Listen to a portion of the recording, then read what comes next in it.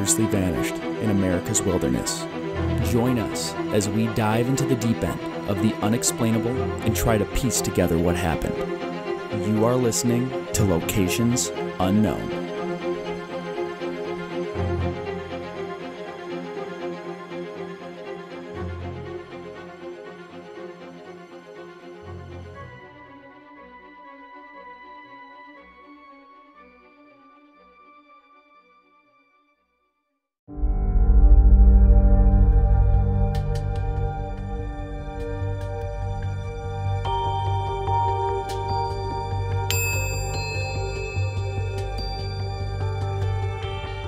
What's up, everybody, and welcome back to another episode of Locations Unknown. I'm your co host, and with me, as always, is a guy who never gets information about bears wrong, Mike Vandebogard. Uh, thank you, and uh, he's our co-host Joey Rado. He had a little. What did I say? You just forgot your name.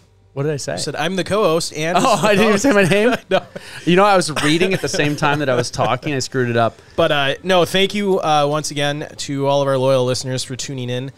Uh, just a couple of quick announcements here. We I'd like to get to our Patreon supporters. Well, and we have to introduce our special guest, Andy. He's come back oh to the studio. Andy is back. Yeah, I should have. We should have probably went over all this beforehand, but you know, In the in the earlier days, we probably would have just stopped and re-recorded that, but no, not anymore. we'll just keep going. Yeah, But- roll to punches. Yeah, this is our third episode on Gwen Hasselquist, so Andy is back uh, in the studio.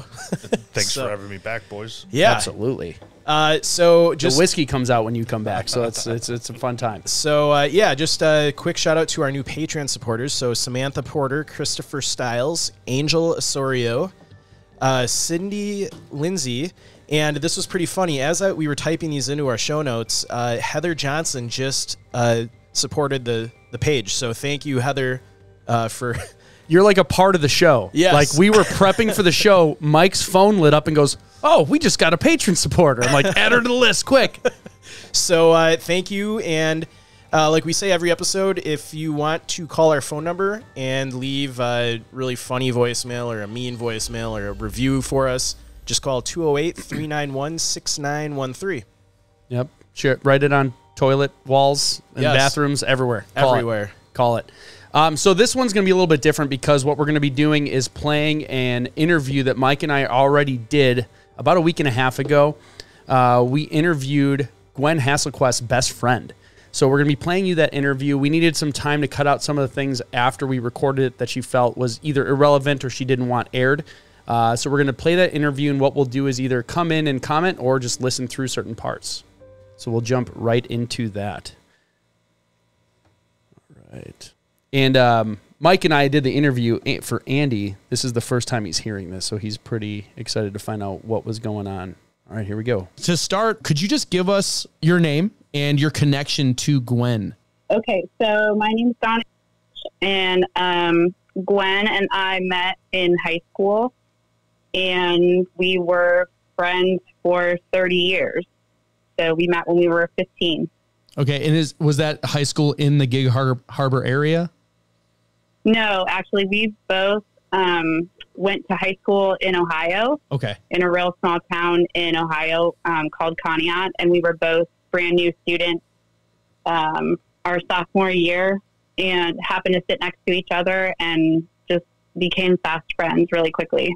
Throughout the years, how often would you say you would meet up like in person or at least talk to her, you know, via phone or email? Right. Um, we, um, after high school, kind of went in separate directions. Um, she moved out to um, Texas and um, was originally planning on going to nursing school out there. I stayed in Ohio and went to college there. So we sort of, you know, through the years, kind of lost track of each other and found each other again. And, um, but we would talk to each other, you know, on holidays. And if I would go, I had moved to California once I graduated from um, college. I moved to California, and when I would come back to visit my family, I would always go up to Cleveland because her family lived in Cleveland, and that's kind of where she was based after she moved back from Texas. And so I would go and visit her in Cleveland when I when I came home to visit my family. She came to Virginia because when I moved to Virginia, she came to Virginia to see me a couple of times, but once like social media sort of took off and we were able to keep in touch like through Facebook and you know we could text each other, it got a lot easier. And I would say like we probably you, you know communicate in some way at least once a month. The last time I I saw her was in 2016. Okay. So how much did you know about Eric and when she got married to him? Were you close then? Did you go to the wedding? How did that all work? I did not go to the wedding. She lived with her parents for a little bit. Then she moved out from living with her parents and she moved into an apartment. I think she lived on the top floor and he lived on the bottom. Like they, it was like a two two uh, level apartment and she lived on top and that's how they met each other. They were neighbors. I remember when she met him and she said, I met this guy and I really, really like him. Then kind of, I don't know how long it was after that, that then they ended up getting married, but I don't think anybody was at their wedding. I think they went to Vegas and got married, just the two of them. Gotcha. Okay. What year were they married in? I don't remember if we knew that or not. I do not know actually, like 14 or 15 years ago, Okay. because their, their oldest son is 12 or 13. Yeah, and I believe based on messages in that group, uh, the Find Gwen group, that their kids are actually in Wisconsin somewhere with family. They are, yeah, Yeah. they're in Wisconsin with his family. Okay. Yep. So what we did hear from some people, and I'm going to paraphrase just because I don't want to again give away information I was asked not to. That I'll just say there were some issues in the relationship throughout the marriage that seemed to continue to get worse. As that was happening, is this something that Gwen ever reached out to to talk about, or things that you knew that were going on that were something that would rub you the wrong way or, or make you think something was going on with their relationship?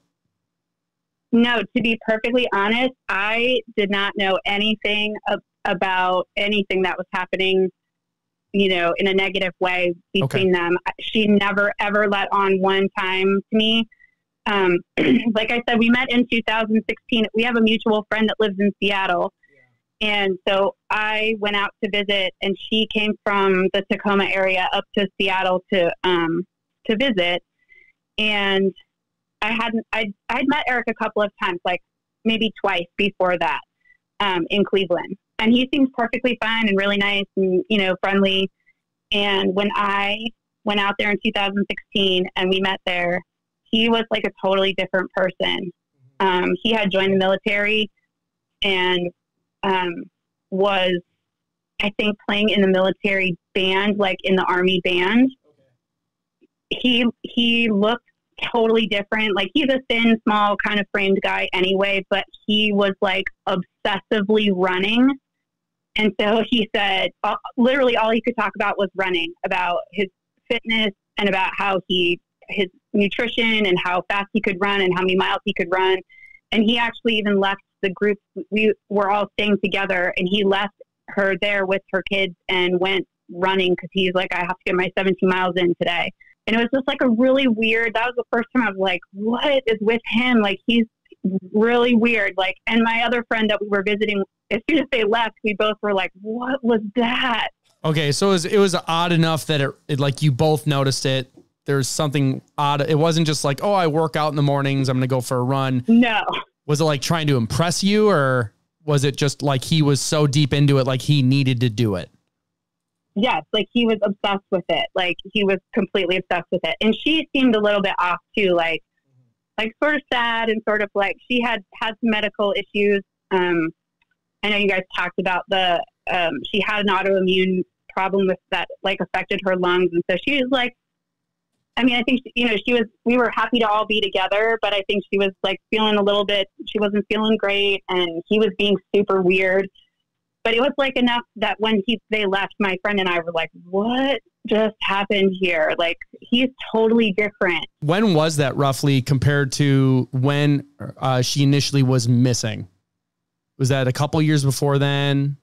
2016, I went to to visit, and then after that, like we still kept in touch after that, you know, um, and she had had like some kind of lung problem that she had to have some kind of medical procedure maybe a year after that. And I remember her parents came out to take care of the kids because he was traveling or something and she needed help taking care of the kids. Let's go a year out before she went missing and ultimately was found um, passed away. Did, were there? Did you have any communications with her in that period, that like final year, that started to make you worry? Or So that's what I was going to say. Let's fast forward like another, I don't know, another year maybe, November of 2019. Mhm. Out of the blue in November, like I get a phone call from her and she's like, Hey, I need to talk to you. Like, okay, what's going on? And she says, um, Well, Eric's drinking again. And so, and he's suicidal. She's like, Donnie has a gun and he's running around outside. And every time I try to call the police, he says he's going to kill himself. And I was like, wait, whoa, whoa, hold on. what does that mean? Drinking again? Like what, you know, All right, what- so this I'm is not- the this is the first time that you're like aware that I he had- had any issues at all. I had no idea. She Okay. has never one time mentioned it. I had no idea. So this was like a wait, what? so she had been trying like to get him help and every time she reached out to you know try to like call somebody to help her they would say call 911 and anytime he said you know that he thought that they were going to come to the house he would take his gun and go outside and tell her you're, that you're doing this to me i'm going to kill myself and so there were weapons in their house, like loaded weapons in their house all the time. um, and by this time, they had moved. So I don't know where they lived before, but I specifically remember that they moved to a place. She sent me pictures of it. This when when she purchased this house, when they purchased this house, and it was like it's out in the middle of, like in the middle of the woods. And in order, it's completely surrounded by trees. You can't really see their neighbors. And I was like, wow, it's like very secluded. And she's like, yeah, you know, I mean, it is a little kind of far away from people, but, you know, Eric kind of likes it that way. And I was like, okay, that seems creepy, but okay.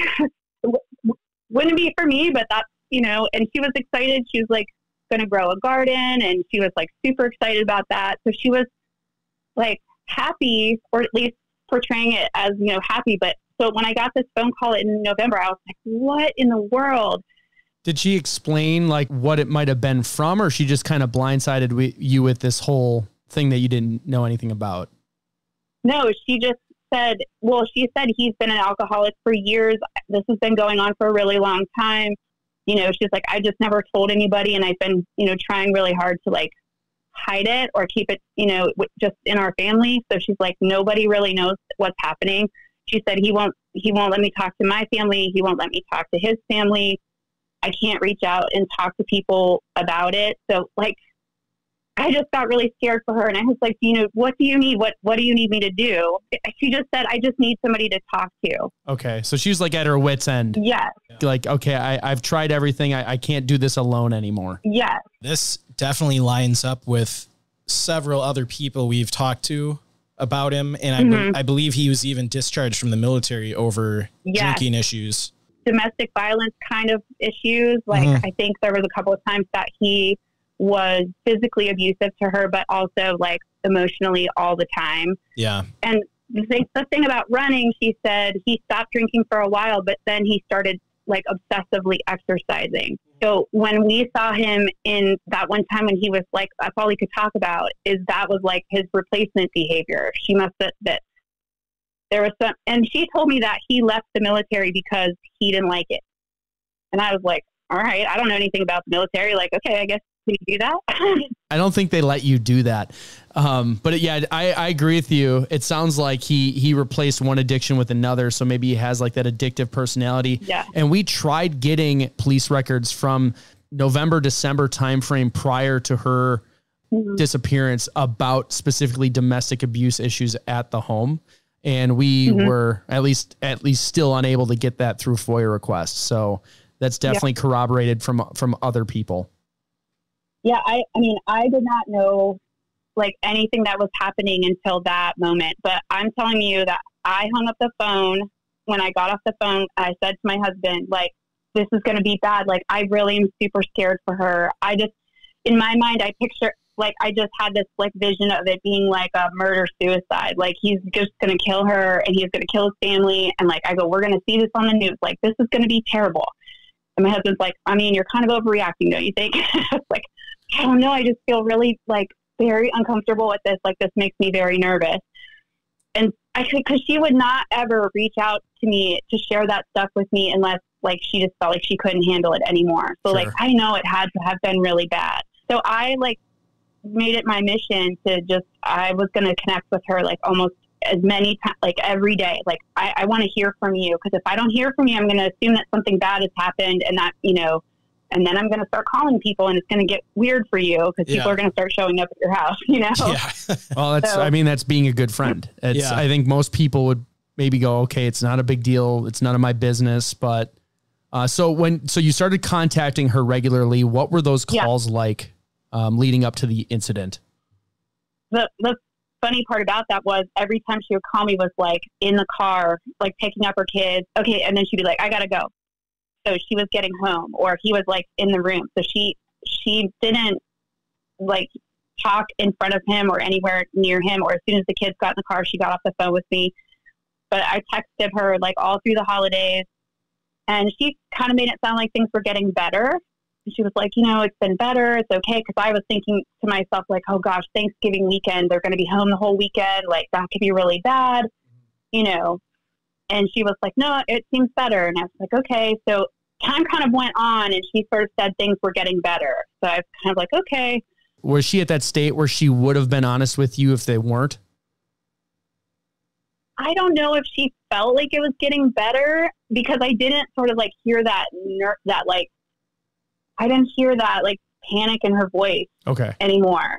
You know, so she sort of made it sound like things were going better. Yeah, and if, if you want to speculate, you can just say, "Hey, I'm speculating here, but this is what I think based on." Because it's it's I'm sure you could tell if you knew her that long, you could probably tell like a crack in the voice or the way she's talking if she's not being Yeah. truthful. Yeah, I just, I mean, yeah, I, I, I felt like she was doing better because I kind of could feel myself like relaxing a little bit. Like, okay, maybe I just overreacted. Maybe this isn't, you know, like maybe it was okay. But I still felt like I needed to talk to her. So her birthday is the first week in March. I always text her on her birthday or call her every single year for 30 years. I sent her a message and I said, I hope you have a really, you know, happy, peaceful year, you know, just sending you some birthday love. And she said, um, I've had a great day and I think this is going to be my best year yet. Okay. And I like, when I think about that now, like, I just like, she really felt okay about how things were going. And she was like feeling really positive, you know, like, um, she had just kind of reconnected. I know you guys talked about like rekindling a family connection, and she had just reconnected with her stepsister Dora. They had been kind of estranged for a long time, and she was super excited about seeing Dora, and they had visited and were making plans to do things, and she was very excited. Like she was, you know, she seemed really, really happy. This was um, March 2020. Yeah. Okay. So this was like the be- March 5th is her birthday. So that was like, I talked to her. And then March, I hadn't heard from her in a little bit. And it was March 19th, actually.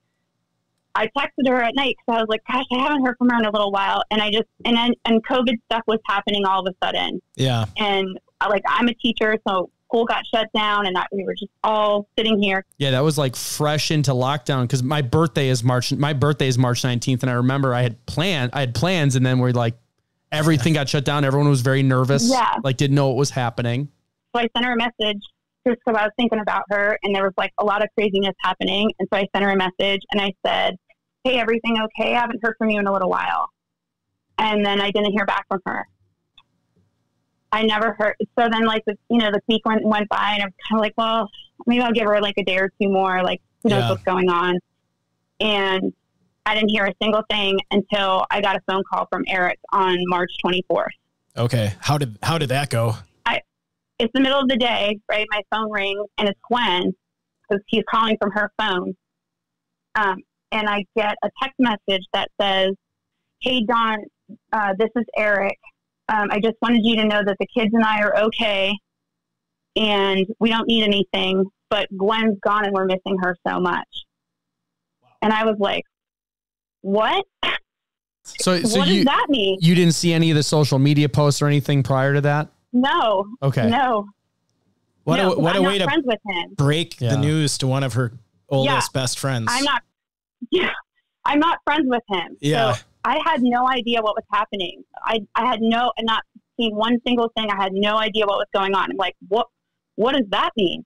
And then he, and then he puts his cell phone number. You can call me if you want. What? Yeah, that's that's really then I- strange. it's like he's almost trying to get attention from you because like he knew you were close with her. I think he was looking through her phone and realized, like, oh, oh gosh, she's been talking to Dawn all this time. Dawn knows all of this stuff that has gone on. I really honestly, in my, I'm speculating, but in my honest opinion, I think he realized, like, oh boy, I better get in touch with her because she is gonna, she's gonna want to know what's going on, Yeah. and she knows a whole bunch of stuff.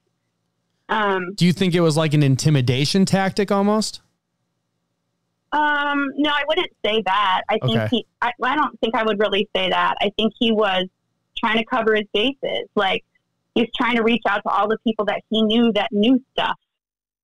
You know, like, I got to hurry up and make sure that everybody knows I'm this good guy, this caring, loving husband, and I'm so sad and, you know, upset. So it took me a long time to, like, dial the number. I called my other friend who lives in Seattle first, and I was like, "What do I do?" And she's like, "Well, you're going to have to call him." Like, "I don't want to call him. Like, I don't even know what this means." And so I finally get up the courage to call, and he was like, immediately as soon as I, as soon as he could hear my voice, like started just fake crying, and I I know for sure that he was not really crying. It was like the fakest sounding cry I've ever heard, and he was like, she did it. She just jumped off the bridge. She just she just did it. And I was like, what are you talking about? And he's like, she was mad at me because of COVID, because she had COVID, and she just did it. She, and I was like, I, I I don't even know what to say. Like, I cannot even believe this is true. Like, this is not. There's no way. He asked me to FaceTime his kids, who I'd only met one time before. So I was like, I mean, okay, that seems like a weird request, but like I was just like, okay, sure, whatever. Like I go, are you home by yourself? And he said, yeah, I'm here by myself. And in the middle of his crying, I said, why you need to get in touch with your family and have your family. And he immediately stops. His voice totally changes, and he said, oh, I don't know if I can say this, but he said, my family are a holes. I'm not talking to them. And, and then he went back to like just completely crying again, like fake crying. And I was like, Eric, I, I'm I'm so sorry. I mean, he sounds like, I mean, it, I'm not a psychiatrist, but I mean, based on all of the comments we've heard from other people and the, the things he was posting on social media, I mean, he kind of sounds like a sociopath. That's exactly what I was gonna say. oh my gosh, a hundred percent, a hundred percent. the way that he can just turn emotion on and off and just the lack of any kind of, you know, like, Extreme antisocial attitudes and behavior and a lack of conscience. yeah, and like a lack oh. of, like, if your wife had just jumped off a bridge when you're talking to law enforcement, you would be shattered. And he, like, in the police report, just like a, like a stone cold, like, Yes. no emotion, which is bizarre. I- Normal people would be crying and, Well, I think even normal, not not that it, you're not important in her life, but I'd feel like if if it happened to my wife, I wouldn't be going down her list of close friends first right. within a, a- a couple days. Unless it'd be- you unless you murdered her and you're trying to cover your tracks. well, just in general, it's, you're gonna you're gonna be you're gonna be around family. You're gonna be around, and like her, I would expect her friends would probably show up. Yeah. but I wouldn't be going out of my way to reach out to those people as the only people I contacted. So, did you immediately like when you heard this? Did you immediately think that it was something with him, or were you, uh, just give us? Yes. I don't want to lead you. I don't want to so- lead you. Tell us how you felt, kind of when you got that call. I hung up the phone. I was like, I knew it. I told my husband, I was like, I told you something was going to happen. I knew it. And I have never called the police in my entire life. I didn't even know how to call the police. I got on the phone and I spent the rest of the afternoon trying to call the Gig Harbor Police Department. And then I, I couldn't get anywhere because it wasn't Gig Harbor. It was supposed, it was like the sheriff's department for Pierce County. So, I mean, I spent all this time trying to get through to somebody, and I finally get like a lady, and she's like, ma'am, are you trying to tell me that somebody murdered somebody? I was like, I don't know what I'm trying to tell you, but something bad happened here. Like, this is some, somebody needs to go and check this out. Like, that was my immediate gut feeling and I'm not a person who would call the police ever. And I immediately said, like, th- there's something, this is not good. This is like something bad happened here. Like, she did not do this. There's no way she did this. And I, this is, bef- I had not seen the video. I had not, I didn't know anything about the Mike, our next partner, has a product I use literally every day. I started taking AG1 because, as many of you know, I got into kickboxing and was feeling slow and sluggish on training days. I was taking more supplements than I could count, and nothing was helping. One of the fighters at my gym recommended Athletic Greens AG1 Daily Health Drink, and I've never felt better. One scoop of AG1 in the morning has me ready to take on Mike Tyson by the time I get to the gym. One serving of AG1 contains 75 high quality vitamins, minerals, whole food source superfoods, probiotics, and adaptogens that support better sleep quality, recovery, mental clarity, and alertness. All things very important in the world of combat fighting. Best of all, it costs less than $3 a day, which, from my own experience, is cheaper than getting all the different supplements yourself. For less than a cup of Starbucks, you can make an investment in your own health that I can personally vouch for. Right now, it's time to reclaim your health and arm your immune system with convenient daily nutrition. Just one scoop in a cup of water every day. That's it. No need for a million different pills and supplements to look out for your health. To make it easy, Athletic Greens is going to give you free a free 1-year supply of immune supporting vitamin D and 5 free travel packs with your first purchase. All you have to do is visit athleticgreens.com forward slash emerging. Again, that is athleticgreens.com forward slash E M E R G I N G to take ownership over your health and pick up the ultimate daily nutritional insurance. the ring video. I didn't know anything about anything. This is based on her phone call to me and his phone call to me. That is it. And I was like, this is wrong. There's something wrong here. I happened to um, ask him because I knew she had been talking to her sister, and I just said, Eric, you know, um, I, I, I just need to understand really what's happening right now. Like, I'm, you know, it- it's hard to understand what you're saying. And like, I, I just don't really get what's going on. So is it okay if I get in touch with her sister? Could you give me Dora's phone number? And he was like, yeah, absolutely. So we hang up the phone. He texts me Dora's number. It took me a while to kind of get up the courage because I had literally met Dora like one time when I was 15, 30 years ago. And I was like, what are the chances that she's even going to remember me? But I'm going to try it anyway. And so I reached out to Dora, like, hey, I, I, you might not want to talk to me, and I totally understand, but like, I just am trying to understand what's going on. And she was so kind and called me back, and we started talking. And just in like probably 15 minutes of me talking to her, I just said, Dora, I'm so sorry to ask you this, and I, and, and I don't mean to offend you, but like, do you think that Eric has something to do with this? And she was like, yes. I mean, immediately, like, oh my gosh, yes. And then we just started like blah, blah, blah, talking about everything because we had so many, like, so many pieces just don't fit together. Like, so many things don't make sense. Well, yeah, the him getting remarried, you know, Oh. a couple months after his wife of, you know, 15 years or whatever dies, we both thought originally we're like, that's insane. I've never heard of that unless somebody killed their wife and had obviously had been dating her before. Yeah, so let so you we you call you call Dora, you're talking to her, you you both kind of come to the same conclusion that you feel like he's Yeah. responsible. From that point on, Yeah. when did you start finding out about all the weird after effect things that were going on? Did you start following him on social media and seeing those posts and things like that? Um, yeah, a little bit of that. Dora was there for a lot of it. So um, she, because he reached out to her kind of for sort of support, and Dora was like trying to help out and be there with the kids. And, you know, she kind of was like, I mean, I feel like this is really, he's really strange and there's really strange things happening. And I just don't want to leave the kids, you know, with him the way that he's behaving. And she knows a lot about the stuff that happened, but literally he got married. I mean, he, there was some other girl that he was supposed to be bringing to the United States. Some other girl, like from some, I, I think it was like from a Spanish country of some sort.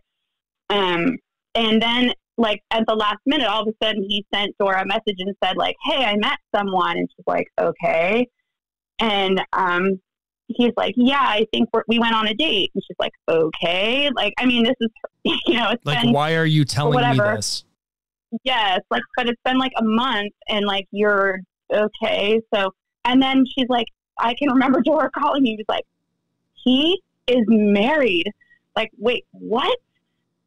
Um, and honestly, what I think is that he needed he could he can't function by himself. Like Gwen, Gwen kept the crazy under control. Like she held in the crazy, so no one kind of knew what kind of person he really was. And he needed somebody to help manage his crazy. And so, unfortunately, this poor I I honestly do I don't know this woman that he married, but I honestly do think she just like I think she wanted to come to the United States. I think she thought, I'm going to marry this nice American guy. I don't think she realized that he was, you know, an alcoholic and a psychopath. And she, they went back to Kenya because not too long after they got married, her father passed away, and they went back to Kenya. And when she tried to return to the United States, she was detained um, and was not allowed to come back into the United States because of some sort of according to them, it was like paperwork that, she, and she's not allowed back in the United States for another 18 months. And I don't know how long it's been. But that's when he started writing all those posts about how, you know, F the USA and, you know, I'm getting out of this country or whatever. And honest, he literally left his children. He, he signed over the, he signed over his parental rights and left his children and went to Kenya That's crazy. to be with his, yeah he's crazy is what you're right he's crazy It's crazy. And even the detective in the police report that we got, and I think you've probably seen that by now too, because Dora had it. Yeah.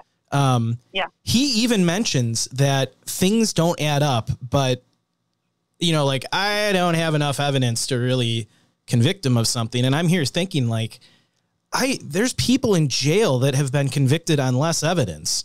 yeah just let, let somebody tell the story and then just be like what so what do you think here Yeah. um the hard part is everybody sees it but at the moment like in the moment when all this was happening like the world was shut down and the thing i remember about the detective he's super nice like when i talked to him on the phone he was really really nice um, but he kept saying to us oh i'm so sorry. I'm like really really bogged down. There's got so much stuff to do. We have so many cases. And he just like made it sound like he just this was just more than he could kind of handle you know at the at the moment. And i get it. I do understand. But i mean we emailed him. That poor guy probably was like i need to change my email address because these women keep bothering me.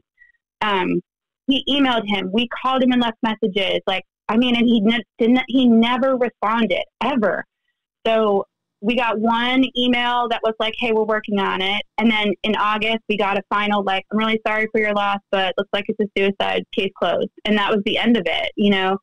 And that was like so heartbreaking because like we all just knew that that's not really what was happening. Yeah, Um, my speculation at that time, I think you you touched on a little bit, was this happened right at the height of COVID, and we got to try and put ourselves back in that mindset where nobody knew what was going on. You know, it still it took us over a year to really kind of get a grasp of how intense it was and what was really happening. But in that beginning, there was a lot of panic, a lot of confusion, and I feel like right. in normal peacetime, this would have probably been looked at a little bit closer than it was. Oh yeah. I mean, we I tried feel like yeah, Yeah, we tried. I tried getting the video surveillance footage from the Tacoma's Tacoma Narrow Bridge, and I was Right. told that they the video gets deleted after a certain amount of time. Um, which whatever, that's fine. But why didn't the detective pull this video?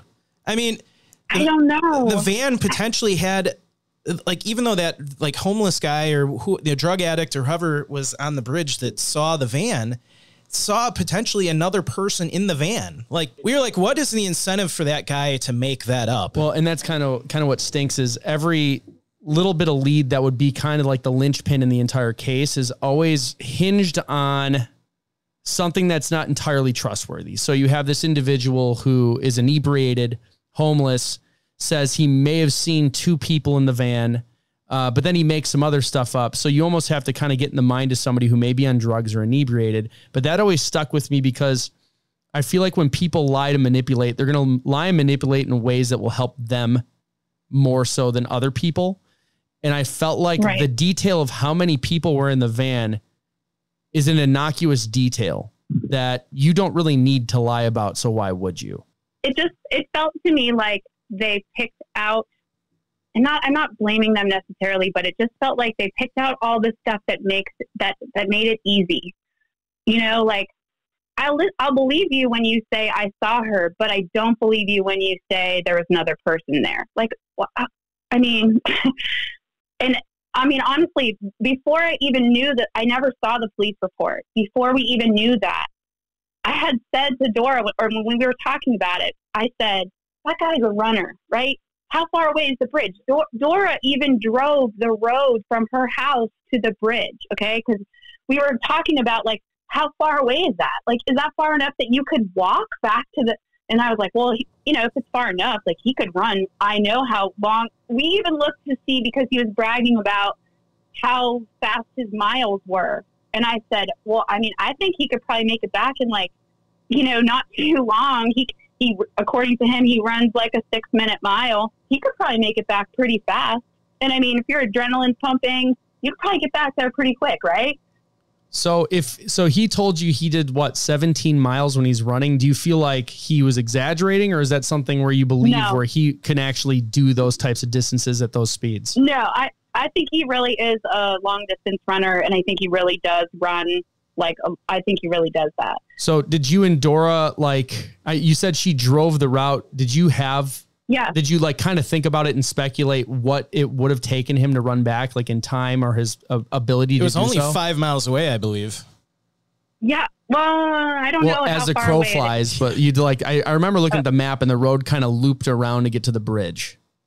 well, Dora has a video of of her driving from Gwen's house to the to the bridge. She has a video. I mean, it's not like it's not it's not like an easy, you know, quick little. But I mean, if you're an experienced runner, like you could run. I can't even understand. This is the other thing. Okay, Gwen wore glasses. She was blind as a bat without her glasses. How did she drive? You saw the video of what she looked like when she was leaving her house. How in the world is she going to get down this windy, dark, tree lined road? How is she getting from her house to this bridge? How is that happening? Like, how would you even? She couldn't even put her key in her door. Like, how do you even know? Oh, I'm now going to drive to this bridge that's 15 minutes away or whatever it is. Like, she couldn't even do like put a key in.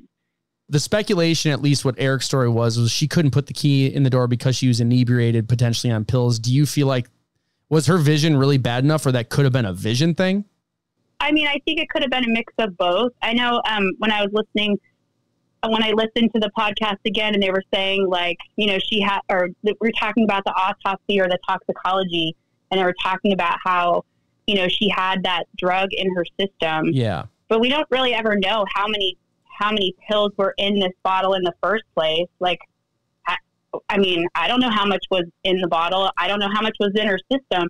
And remember, she's only like a hundred pounds. She's like a teeny little person. Well, yeah, and someone else that we talked to also mentioned that okay, if she had taken a whole bottle of that medication, again, she wouldn't have been able to drive all the way to the bridge without crash totaling her car. Right, right. I I made a connection with a neighbor that lives down the street from them, and she's like, I, "It's hard to drive that street in the daylight." You know, when when I'm have all my functions, Uh, she's like, "There's no way you could drive down that street," and and it, I- there's just like I don't know. It's just so frustrating. You know, and it got me thinking too. Like, no, obviously, we would love. We're gonna keep trying to get a hold of that detective because I think it'd be great to talk to him about this case. But Yeah. you know, if it's still, I it's still, I can't understand why that footage of the bridge wasn't pulled unless, as a police department, like you were saying, the guy is overworked. They want to just get cases closed. One way to make sure this doesn't turn into a murder investigation is pulling evidence that would show that it was murder. So like they know the, they know the footage gets deleted after so many days and maybe they're just like, "You know what? I bet he did murder her, but you know what? If we don't have this video footage, we can't, you know, bring him up on charges." Right, exactly. I, I 100% believe that. Okay. And also, can I just say, can I just like speculate again? Just Sure. um, from talking to people that Gwen was stashing money around in different places, like different banks around the area. And I believe that it, that is because she was planning on leaving. I don't know that for sure. That is pure speculation on my Okay. part. But she was putting money in places because she was planning on being able to, like, I need to have money to survive, like, when I get out of here. And did you hear that from her or from like a source that you would deem credible? Yes. I did not hear that from her. Okay. but okay. I heard it from I, I got it from somebody. Um, and then so I mean it's expensive to get divorced. It's hard, you know. That's it's going to cost you a lot of money, and you're going to have to pay. You know, you'll have to pay to to support your kids. outside of that, what you said before about he would march around outside with a gun, threatening her if she called the police. So it sounded like Yeah. he had a control issue. And I'm almost wondering if she, if again, we're, we're going to go down the speculation path of I'm, I'm going to trust the information that you heard. Cause what we've been hearing from people that were close to her has pretty much turned out to be accurate. So let's assume she's storing money around town and planning to divorce. I almost wonder if it's possible she broke the news to him that night and he freaked out. I, I it could definitely be the case. That could definitely be the case. She reached out to me for help for him when he was suicidal. I mean, so I, there's there's just no way in my mind that she would like she would not leave her kids with him. There is no way she would do that. There is no way. She would not do that. She's a super smart person. She knows about drugs. She was in nursing. She knows about drugs and how drugs work just no way that she would do that to herself. Like, Yeah, that's the impression we've been getting from everyone that's known her is there's no way she would commit suicide over something like COVID or anything, especially because she wouldn't want to leave her kids. I think it's, I think outside of let's, even if he wasn't had all these episodes, I still think like, uh, um, you know, I'm not a mother, my wife is, but a thing changes when you have children. And especially if you feel like there's a threat at home. I can't imagine Right. her leaving that. And that's where I think the biggest, uh, because I always try and play devil's advocate. I always try and really step outside of my emotional prediction of what's happening. And I think the thing that threw me off the worst was, and you said you listened to the podcast, the part where when the detective called him to basically tell him that they found the van.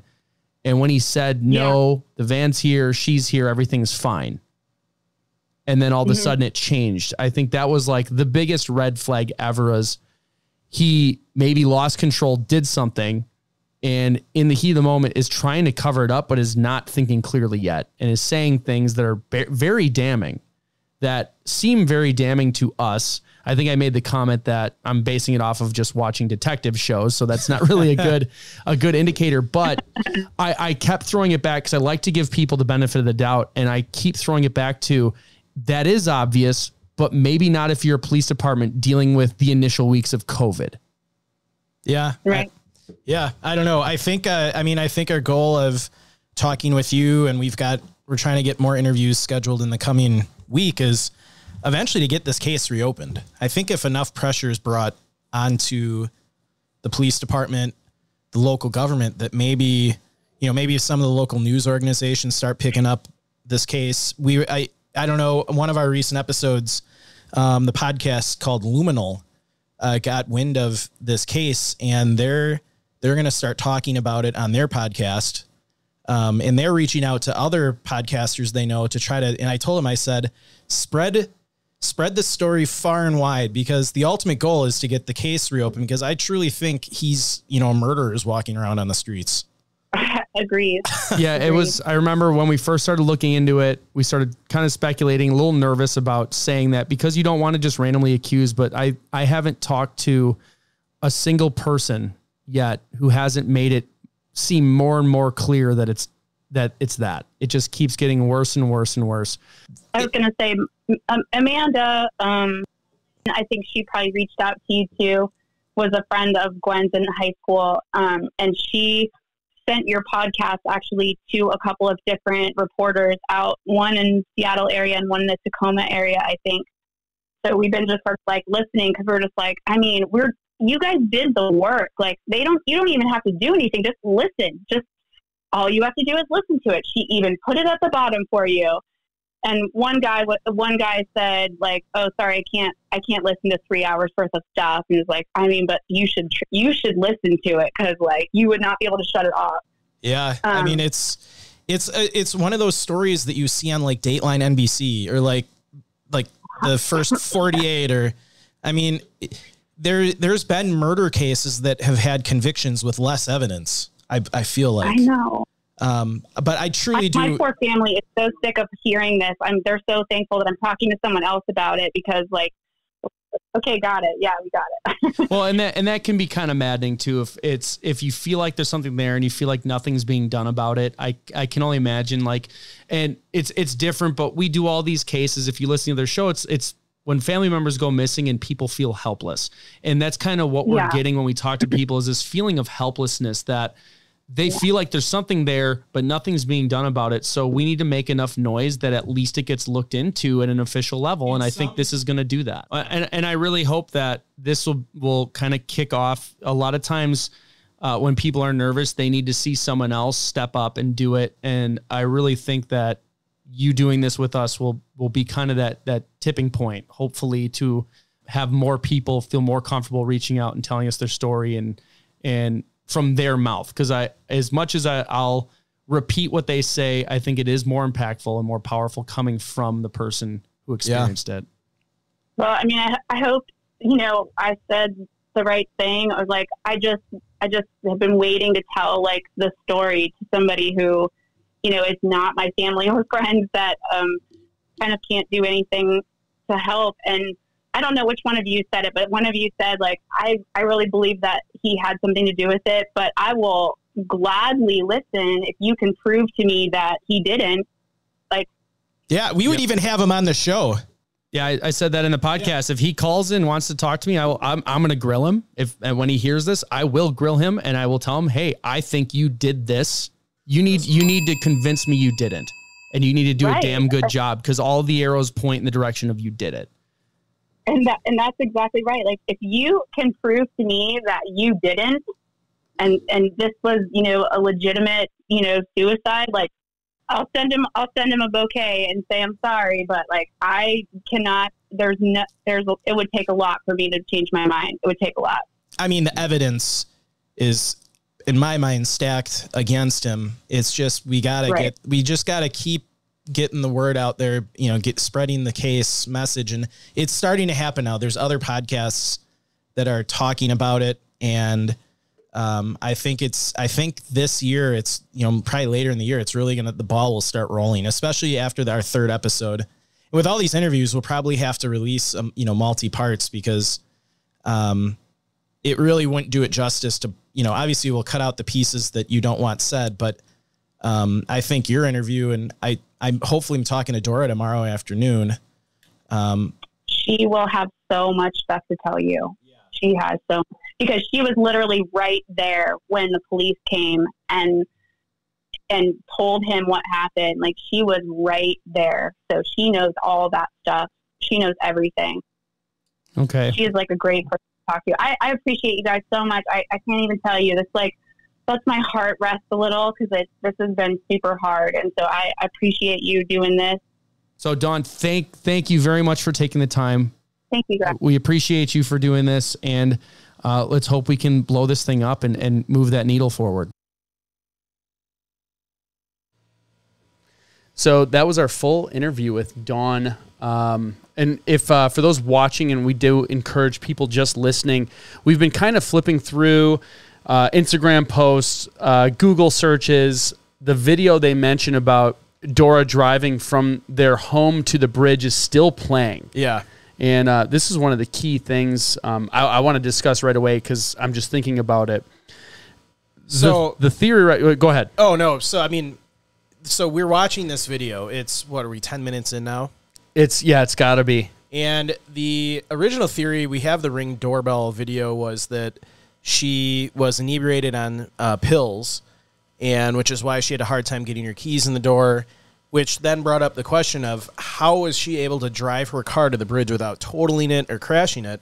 And what we heard in that interview now, Dawn said she was basically blind as a bat without her glasses, which Yeah. she didn't have. So if let's assume both things are true. Let's assume she took too many pills and didn't have her glasses. As we're watching this video that's still going, heavily forested, Yep. uh, Lots of turns. lots of turns, construction. No street lights on most of a lot of the roads, so you Yes. got to assume it's dark because it was at night, middle of the night.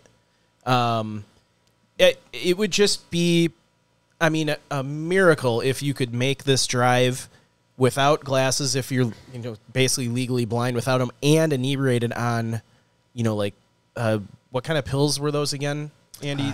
Yeah, the- Joe, were there's, they uh, like sleeping pills or? No. benzodiazepine, so like a Xanax uh, type pill for Okay. depression. Um, once again, the Go right into this the, is, go uh, right into the mic. Okay, There you go. we uh, the police report does not mention it, it- the toxicology came back as having these in her system, but we have no idea how many were consumed, the amount of the uh, benzodiazepines in her system, and just watching this video, I mean, it it is a difficult drive sober. And uh, I, it's hard to believe that you could do this inebriated or uh, lacking vision. No, I agree. It's it's a mix of like deep forested roads. It's a mix of highway, the turns. Um now this this was a little bit after, but I, the construction on that bridge was probably still going on. That, that's speculation now because this is obviously after the fact, but it's pretty close to the incident when this is also happening. That this is the the film that Dora had filmed. So this is two. Eh, construction doesn't start and finish that quick. Right. They seem to be pretty much in it. And then Andy, you kind of posed the question in the middle when we were watching this: Is it past? It's like there's a bridge. Right. Like why? If you're gonna go do something like that, why go to that one? Well, and my my next question is, um, if she took all those pills, uh, presumably, you know, assume, you know, basically to kill herself with pills, why would you then go and drive somewhere to then jump off a bridge, right?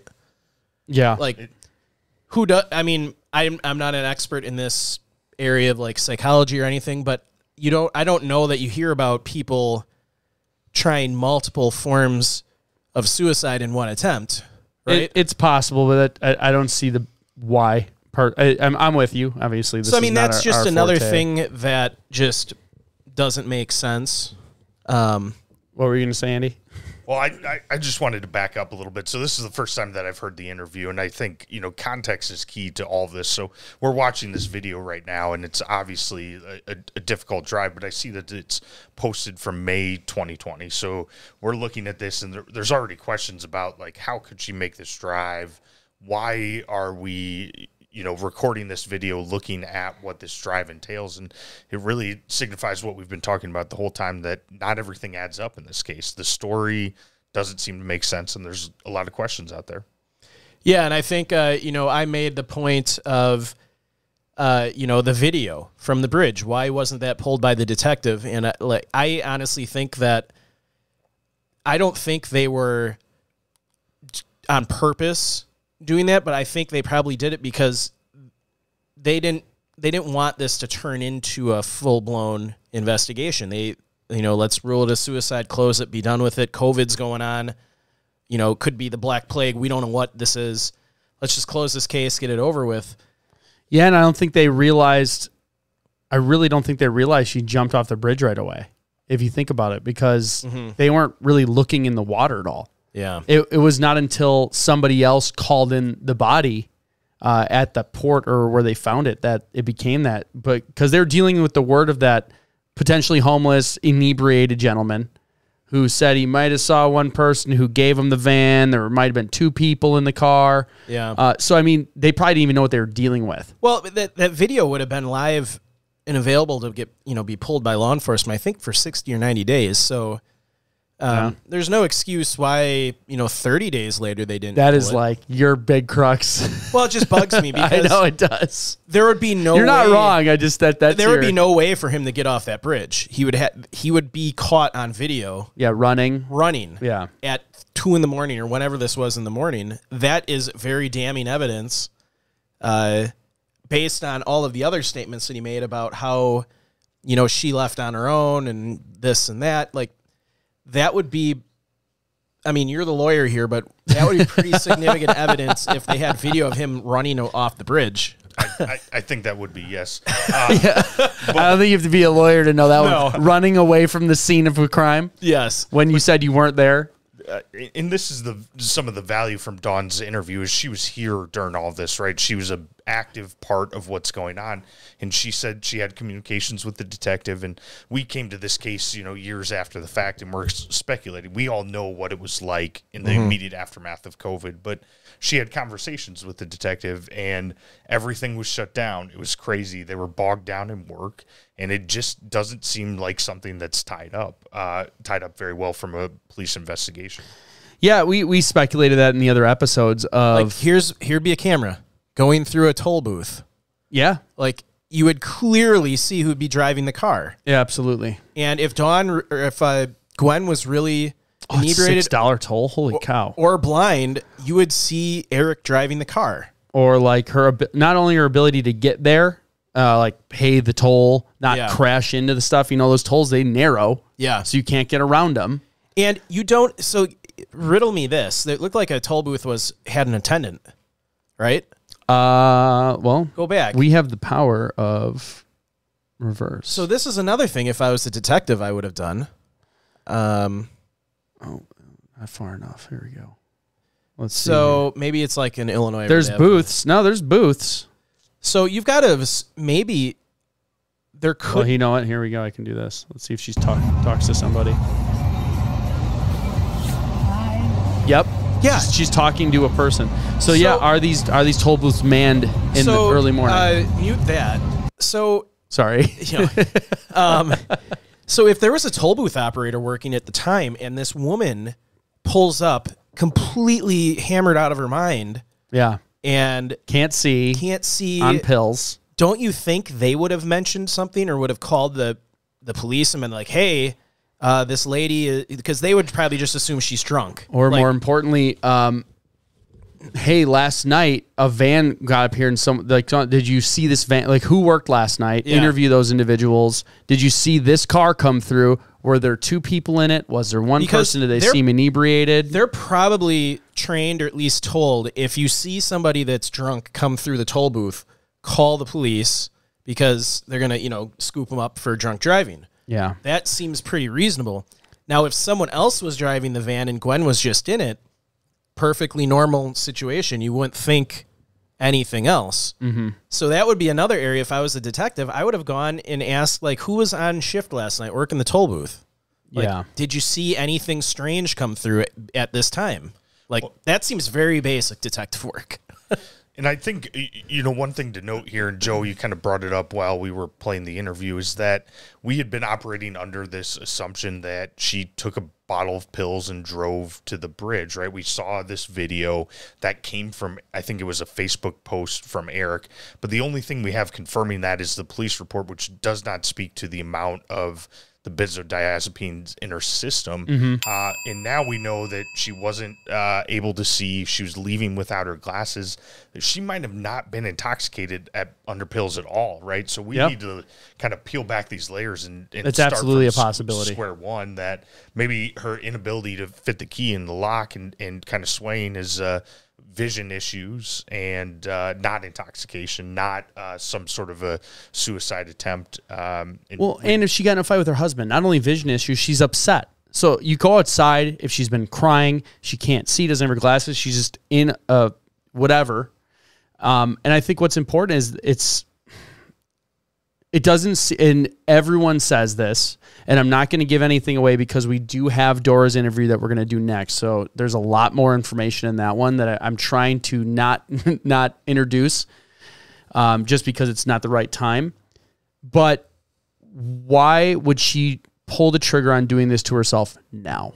Yeah. What occurred? Because everything we've been hearing from her friend is that things were getting better. Things were things were looking up. Everything was getting better. She loved her kids. She would never leave her kids.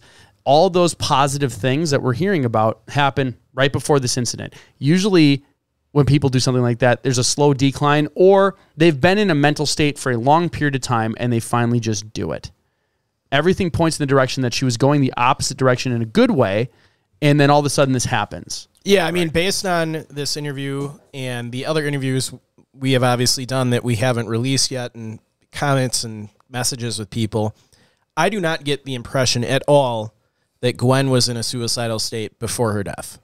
That's Yeah. That's based on close friends, family, uh, her social media posts, um, just you know everything about her does not lead me to think that. And you, a lot of times on our other episodes we say that, and we don't really we don't really know their personal life. We We don't have this much insight into we it. have a lot of insight into Gwen's final few years before her death, and I, I 100% don't think she was in a suicidal state. I think maybe, well, you know, I'm not going to. I think it's possible, but all the indicators point to highly unlikely. I think it's possible where someone can do that, and it's odd. It seems out of the blue. I yeah, and I think I think Dawn mentioned too about how Eric, you know, seemed to be able to turn emotions on and off in a drop of a hat. We've got all of these crazy events going on in the past where he's waving guns around saying that he's going to kill himself. Yeah. And I think you factor that in. I think you factor in the video of her not being able to get the key in the door. Then you look at this video, to the drive to the bridge and the toll booth. I just, I, It's it's a long drive. I don't but think for a long distance yeah. runner, doable. I don't think she was driving now. That I'm, it's it I've gotten seems to that very difficult. I think something either happened to Gwen at her home and she was transported to the bridge, or she got a ride from someone else to the bridge and then something happened on the bridge. That's why it's so frustrating. We don't have any of the video footage from the bridge. We don't have statements from the toll booth operators. Um, and Dawn made a great point about how they believed that homeless guy about the fact that Gwen was there, but then they don't care about the fact he said there was also possibly someone else in the car. Yeah. That how I mean, it's almost like they were trying to not collect evidence. You're really on the you're really on the they want to close the case train. I mean, why else? why else would you not do some of this basic detective work? I see. That's I'm nicer than you on this one. I'm not nice in other things. I think uh, COVID fog. I think because again, I try and put myself. We are in because I, if I'm recalling properly, like Washington State That was the was like epicenter. it was like Early. the first few cases were coming out of there. People were panicking, and this is Yeah. where I became less anxious about it as we went on. After they found out, like, oh, if you're healthy and young, still dangerous, but way better. In those early days, it's like, okay, uh, First uh, month or uh, two was oh, it was like scary. nobody knew it was going to happen. Yeah. nobody knew how. Like it was at that point, like it seemed like mortality rate was like fifty percent, like something crazy. That's what it felt like. So you have these police officers that they're people too. We're gonna go like there's a body floating their car was on the bridge. The only witness we have is one guy the one other the husband's at home. It looks like a suicide. If I- you're if you're not digging into it like we did and if you're in the beginning of covid there's a lot bigger stuff going. They're probably getting calls all the time from people freaking out. True. so if i'm gonna give them the benefit of the doubt this looks clear cut if you don't dig into it. She took pills. She looked upset on a video, left. The husband seems a little quirky. If you're just taking initial statements, Yeah. okay, he's home. I called there. He said he was there. There's a van. A weird homeless guy said she saw a lady fall off the bridge. There might have been another person. And then the body's in the water. we have It's- it. Guess what? Right there, all that information. Yeah, sounds like a suicide. Yeah, and we have the benefit of being able to focus all of our time and effort on this case. Exactly. And they're focusing on lots of different murders and well, suicides or and if it wasn't COVID, Yeah. maybe they would have dug in this deep. Maybe it wasn't. They didn't have so much going on. But with that going on, I, I want to give them the benefit of the doubt and say that it was probably chaotic. I, Well, and another thing to think about here is that we have the benefit of what happened after her death and after they had ruled this a suicide. And we mm-hmm. look back through the social media posts and saw, you know, his posts on, I'm looking for a woman. I feel like a man standing on one leg in the marriage three months after. Uh, while they were investigating this, none of that had happened yet. So we are we kind of backed into uh, this seems a little suspicious. But what another thing that's interesting to me from this interview with Dawn is um, she has the same suspicion moving forward, and it, you know, long term friends with Gwen. We all have friends from high school that we're very close with, but have moved apart, and you know, communicate those couple of times a year. And if one of your friends texts you and says, "This is going to be my best year yet," and then the next thing you hear is that they've committed suicide. Uh, that's red flags across the place. right? Absolutely. Yeah. That's a great point because it's not like she wasn't being 100% honest with her the entire time before that message. Because there are friends you have that are maybe good friends, but more superficial. You're not going to come to them with your dark stuff, the things that you need help with. Yeah. She was talking to her well prior to this about the dark stuff. She was talking to her through her worst times. And to your point, she messaged like, "Oh my gosh, it's getting good. We got the new house. We're in a wooded area. It's going to be the best year ever." And Yeah. that's when she does it because it should have been in October or November or when we heard that there's domestic stuff. That was the deepest darkest part. That's when someone who's actually going to do suicide probably would do it when they're at their lowest. Right. And she was coming out of that. And, the that's oth- what doesn't add up. the other red flag that jumped out, you know, first time listening to this interview, and this is news, I think, across the board, is that uh, Dawn had heard that Gwen was moving money around, that she was putting money in different banks, and Mm-hmm. the you know the speculation is, well, we don't know, and we don't want to speculate, right? But uh, that's another. Well, you don't. You're a lawyer. You shouldn't spell. I can speculate. I'll speculate all go day. ahead. Well, and she did say, and I think that's fair. I think that is fair to put the disclaimer on. And she even mentioned it. She heard it third party. So Gwen didn't tell her she was doing it, but she said she heard it from someone who's a credible source. So let's assume, again, now we're speculating, but that's someone who is a close friend to Gwen in Gig Harbor potentially. Somebody that's close enough to know that I, maybe it's a credible source of if she's hiding money places, it's because she's fearing something or she's going to make a move. Again, if you're going to commit suicide, why would you hide money away from potentially getting to your children uh, or, or the people that might need to use that to go on? And it's a little strange. I believe she mentioned that there was speculation that she was maybe planning on leaving Eric. And around this time, and sure enough, she ends up, you know, dead from suicide. That also seems a little coincidental. Yeah, did she announce it that night or say, you know what, this marriage is over, we're done, Yeah. and he lost it? And he's he's a normally- control freak. I think Yeah. we've learned that he wants control. I think a control freak. Obviously, we know about the drinking issues, and obviously there appears to be some mental health problems with you know the waving the gun around and all that. If it was a normal individual and their wife told him they're leaving him, I wouldn't assume. And then something happened to him and they died, and none of this other stuff had happened. I would probably just like as just a sad coincidence that she told him that she was leaving and then passed away. But when all of this other stuff happens, and then there's speculation that she was about to leave him, and then she ends up dead, that seems very strange to me. And Yep, again, agree. if I was a detective, I would probably dig into that more. But this is after the fact. I don't know what it would take to reopen a case.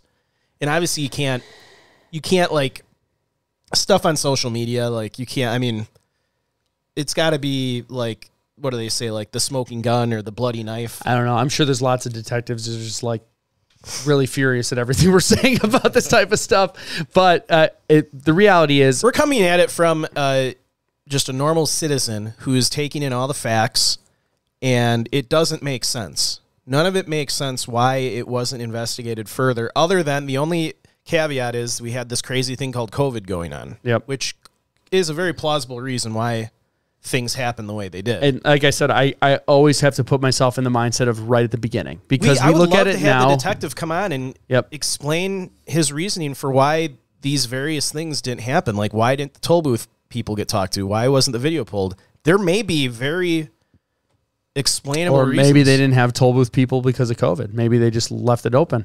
Yeah, maybe it I would like, yeah. I mean, I'd like to know if there'd still be video footage. yes, yeah. I mean, I've we, we could probably call the I've toll booth people out of the state I've department at the DOT and, and I ran. Th- I've run through toll booths in Chicago, and you get a letter in the mail with your a picture of you in your car with your license plate, yeah. saying like you didn't pay the toll. You're supposed to pay those. Yeah, I paid it eventually. But I I think this all highlights the importance of what, what you guys are doing right here because we have the police report and we know the steps that they went through. And we're looking back, right? Hindsight's 2020, obviously, mm-hmm. but now we have Dawn's interview. I know you have more exciting information to come out that you've been able to unearth. And, and we're looking at this story from a different light that just wasn't present in April and May of 2020 when when this investigation was going on. Yeah.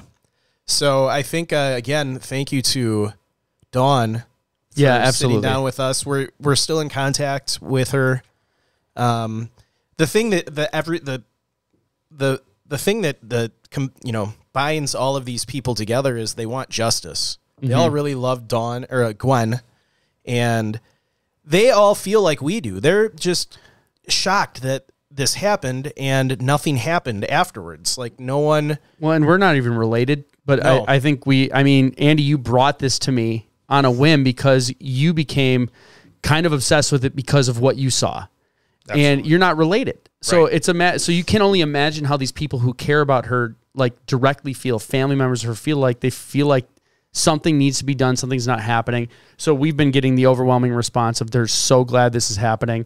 You know, Dawn mentioned it. She's like, I, I can't tell my own family anymore because she's been talking about it for two years. Yeah. And I've felt helpless before, and that is that can eat away at you like crazy. So that's to us, we look at it as if we can use this platform to really shine light on this, catapult this to the front, uh, and potentially get more news outlets And in- ultimately, involved. The end goal is to get the investigation reopened. Yeah, I mean, You just want a second look at it. I, I throw it out to the listeners. We have a lot of people listening to the show now, which is awesome. Um, out of all those people, if you know people that are in news media or whatever, this is a this could be a big story because it is potentially a murder that is going completely unsolved as a result of COVID. Like I said, I'm not I'm not as mean as Mike is. I'm gonna, I'm, gonna, I'm, gonna, I'm just gonna say it it was a very convenient time for all of this stuff to happen. And if you're gonna get away with a crime, that was the time to do it when the entire world was disheveled. That's to me is like what a lucky opportunity And to, I'm to have something where someone might not look as closely because of everything else that's going And on. And I'm not being mean to I know I'm the giving police you, I'm giving you a hard time. No, I'm just bringing up valid questions I have. If I was a close family member, I would have asked those exact same things. Like, all right, did you talk to the toll booth operators? No. Okay, why not? Did you pull the video from the bridge? No. Okay, why not? Did you investigate further once you learned of all the other, you know, things that happened around Gwen in the last couple years? Okay, why not? Like, I would ask those questions if I was a close family Mm-hmm. member, and I'd be really mad if they didn't dig deeper into that.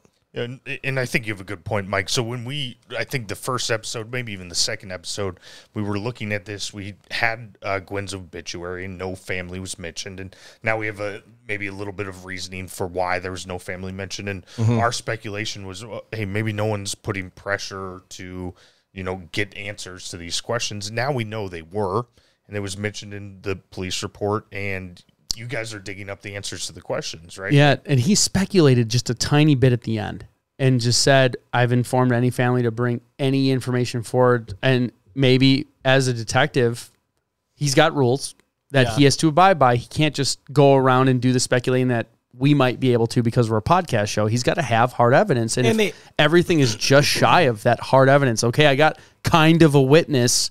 It's a homeless guy who's completely inebriated. And most police departments are taxed to the max on caseloads, and they don't have the time Without COVID. without COVID. They don't have the time or resources to dig back into old cases they've closed. Especially, this isn't like a murder case that they closed because they couldn't find a killer.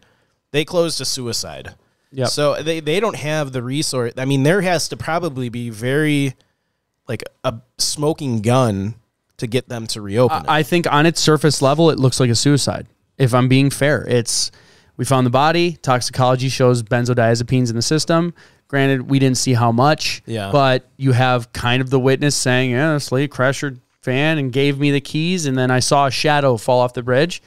On its face, right then and there, hey, I'm sorry. It sounds and looks like a suicide. Yeah. I've got COVID to go deal with. I've got 200 other calls of people panicking. Yeah. I'm worried for my life, my own family. You know, they are human after all. And if we're looking down the barrel of what looks like a huge worldwide plague, what's the mindset of the detective? He could he he's probably a good dude. He probably is a good detective. But again, holy cow, is everyone gonna die? I need to be with my family. This looks like a suicide. I'm going home. And maybe they didn't want to interview all these people because of risk of getting COVID Sure. at the time. They're Absolutely. just like, you know what? The less contact. You know, remember they were letting people get away with speeding. They were uh, uh, officers I'm friends with were told not to pull cars over. That's why the guy broke the cannonball run record. I think with the- all, Change in protocol, right? There's Absolutely. Yeah, they said protocol. just don't engage, don't like because everyone didn't know what was going to happen. Yeah, I don't know. I think with all that said, I think if if there's even a ten percent chance that a murderer is walking the streets, you can't just let that go. Well, that's why that's why we're here, Mike. It's- it's- so, yeah, I don't know. Very But interesting. would you have any closing, A- Andy? No, I think you've you've hit it all on the head, and uh, y- you know, honestly, I think that uh, this is very encouraging. I know that uh, Dawn reached out to you. Uh, you've been in contact with more people, and really, what's happening is the questions are being answered. Uh, you guys are getting there, and uh, i- any light that's shed on this is positive. Yeah. Uh, well, I agree with Andy. Yes, I do. Too. I think we're doing a good job. And if there's any other, you know, people at Host Podcast, True Crime Podcast listening, reach out to us if you want to, you know, you know, talk about this story on your podcast. I emailed Crime Junkies. I was like, hey, I'm like, you don't even have to give us credit, but this is something you might want to look into. They have a huge reach. So I was like, please, if you can, do this. We like we don't even need credit. Like just but we'd get like it. we yeah, I won't I would not take it, but I truly do care more about if this is really uh him doing something, getting justice for Gwen. And, Yeah, and and, and making sure that And if he truly didn't do it, we want to get to the bottom of that too, Yep. and clear all speculation. Yep, absolutely. So Well, I, I will say as a as a teaser going forward, we we have another interview coming up with Dora's stepsister. no, with Dora. Or, or yeah, with Gwen's stepsister. I'm sorry, I'm getting all the names. It's Dawn Dora. It's so close. Uh, but there's even different information, more information. That interview was almost two hours, and then we did remove some things um, that she was not comfortable with. So it's going to end up being about just the interview piece, about an hour 45, an hour 50. Uh, we'll be planning to record that one next. We're going to let this one sit for a while, uh, get people's feedback. We're hoping that the other people that either interviewed with us or expressed interest that were worried about doing it will bring forward some of that information because do- outside of these two interviews, Yeah. there's even more information that these two people didn't have, uh, that those people were not comfortable sharing, and we've always stood by our word. We're sitting on this stuff. If they Yeah. never want it out there, it's going to go to the grave with Mike and I and Andy uh, because we're not going to sell anybody out. But we hope that this uh, gets more people interested in, in sharing their story and, and the information they have. What were you going to say, Mike? Oh, um, I was just gonna say we have. I think we've got ten more people lined up to interview. Oh, really? Yeah. That's even more than what I thought. Holy cow! Yeah. there's a, there's a lot of people coming out, and what's really sh- not shocking to me, but almost reinforcing it is, and I have to think of a way to say it to not reveal anything.